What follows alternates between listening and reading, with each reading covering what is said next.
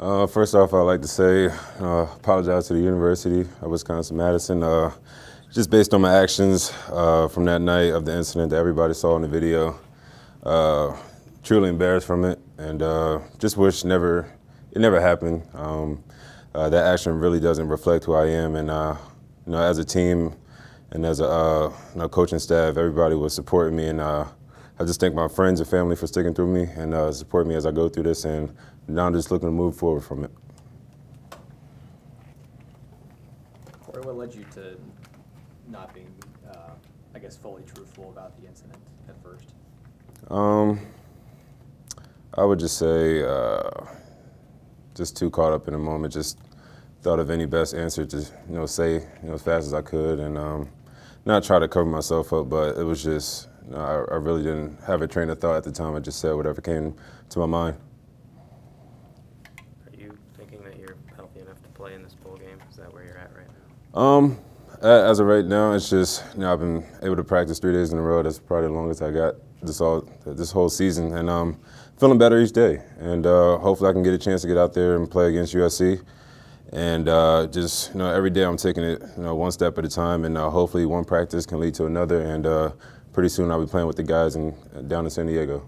So was that a full practice this week, or how? What was your participation level?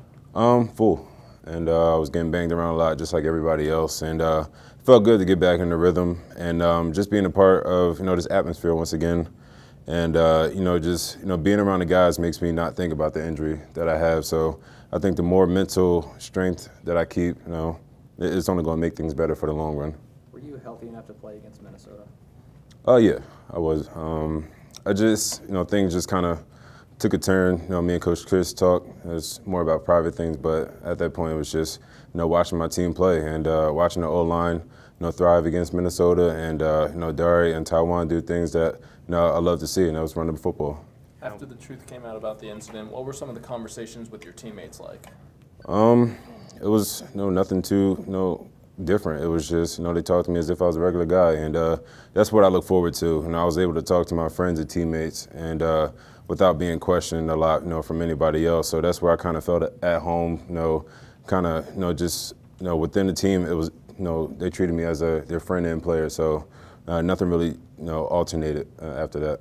Is that entire legal process done with that? Yes, it's done. And uh, you know, as everybody was in the report that, you know, I did pay my citations and uh, uh, will not be going to court because, you know, I just accepted, you know, the penalty and just, you know, paid it off and just moving forward from it. No, it's Coach fine. Chryst' reaction when you talked to him after he learned Mm-hmm. that the original statement didn't mesh with what happened? Um, he was very understanding. Uh, um, it- you know, friend to friend, you know, coach to player. You know, you know, I, I, I accepted, you know, the comments from him, and uh, you know, being a grown man, you have to, you know, take some tough criticism, and uh, you know, followed by my actions. He, you know, was kind of upset a little bit. You know, he he was saying, at least tell me the truth. You know, I'm going to help you out in the long run, and uh, I kind of wish I didn't, you know, skew my story a little bit, but. Uh, like I said, you know, it's, it's, it's a mistake that I uh, hope to learn from, uh, move forward from it, and uh, you know, Coach Chryst was in another been a great part of this, and uh, you know, if anybody from this situation I could look up to is him, and you know, he's you know been nothing but a positive role model, role model on how to handle these situations, and uh, just you know, you know, being thankful that you know, I'm still part of this team. Being that the injury was to your hand, was that affecting workouts at all? Nah, no, I still was able to play and uh, work out you know, as much as I could. And um, you know, yeah, hand really didn't you know pull me back too much. How important is it for you to, if you can't play in this game, use it as a springboard for next season? Um, yeah, it's it's it's gonna be a very very big game, and uh, just trying to roll into uh, next season and just you know play as if I don't have an injury, and uh, by that time I'll you know fully be healed up. I just think time isn't on my side, but you know if I'm just playing through it, and uh, a lot of guys aren't playing this game 100%, just got to suck it up sometimes. Are you 100% coming back next year now? Has Uh, that decision been made? Yeah, uh, coming back next year, you know, for my senior year, and just you know hoping to you know not recap on the season, but you know build for a better season that I thought I would have this season, and um, you know I just want to get back out there with the team, and hopefully we can you know make the playoffs next year. When, did you make that decision you were coming back? Um, I thought about that, you know, probably the fifth game of the season, and uh, when I really wasn't you know able to play, and I was just like, Um, and this year is really a waste to me, and I really can't do anything. So why even try to put myself out there to try to go to the next level when I haven't really uh, put out much tape? Uh, only played two years, you know, as a backup, and I really didn't get the you know primary role that I wanted to play in. So I was really fooling myself if I thought I was gonna you know go to the next level already. Did you ask for an evaluation? Did you? No, I didn't. I didn't even bother to do an evaluation. Uh, I talked with Coach Chryst, Coach Settle, and uh, no, they were just understanding, and uh, they kind of knew right off the bat that I was coming back, and uh, I, w- I don't know who they could see that, so I re- it wasn't too surprising to them. Are you eager to put this year behind you, given you know what you had hoped it would be and, and where you're at right now? Yeah, I'm just waiting for the ball drop for 2016 to come already. Not really liking uh, 2015 too much, and I don't think it's liking me either. So, you know, I just can't wait to get in, you know, to uh, winter workout, spring ball, and uh, summer, and just get back into it, and uh, you know, just push all this behind me uh, because, like I said, this whole incident doesn't really reflect who I am.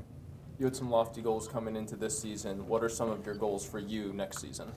Um, to play, and that's that's primary. Just to play the number one role that I you know dreamed of doing, and uh, you know putting this, uh, you know, grabbing the guys around me, and just you know pu- putting this team uh, on the path that we should be, and, uh, and that's making it to the playoffs. Uh, beating these high-ranked teams like we got Ohio State and everybody else coming to the house next year, and I'm very excited. But really can't focus on that too much. We still got you know another game to play in San Diego. With the young offensive line, are you excited with, the progress these guys have made? Oh, very excited, and uh, uh, Coach Rudy is doing a great job with those guys, and uh, too excited, and uh, wouldn't be you know wouldn't be right without those guys coming up. They've been they fought through a lot of adversity, being a young line, and uh, you can see the growth that they had from game one to this game, and I think uh, another season is only going to make those guys better, and uh, you know thrilled to see how they're going to come out. Were you at all intoxicated the night of the fight? No, and uh, no, the police could say uh, say that, and uh, they didn't really have to do a breathalyzer test. I was very respond, responding to them, you know, cooperating very well, and uh, no, it was just one of those nights that's just, you know, it was very weird and never really get into those situations. So, uh, you know, after that, uh, just learned just to, you know, stay with some friends when you go home, and uh, yeah. You haven't seen those people at all or anything like that, or Um, no, thank God. And uh, it's just, you know, I, I try to keep my distance. And, uh, you know, if anything were, you know, if I was to come across them, I would just, you know, be myself. I wouldn't draw too much attention, just walk past them, you know, as if nothing happened. And uh, I think that's what growing up and being mature about this whole situation uh, is about. And uh, uh, everything from now, you just learn from it. And, uh, you know, hopefully, you know, teach somebody else how to, you know, handle a situation as better as you did. How close are you? How close are you to 100% healthy? Um, I would say right now, I'll say a good, still 85, and uh, I, I just, you know, I feel as if you know time is only going to you know heal this process after this bowl game, and uh, going to take some time off, do a lot of you know strength and conditioning, and uh, some rest in between that, and uh, just to get back to the 100% that I know I can get to.